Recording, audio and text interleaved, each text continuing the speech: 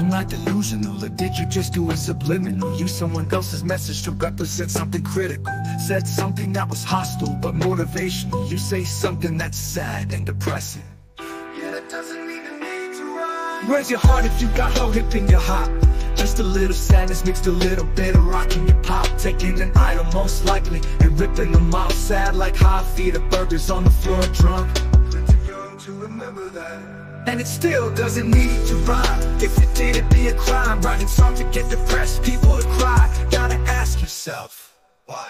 Do you do it cause it's catchy?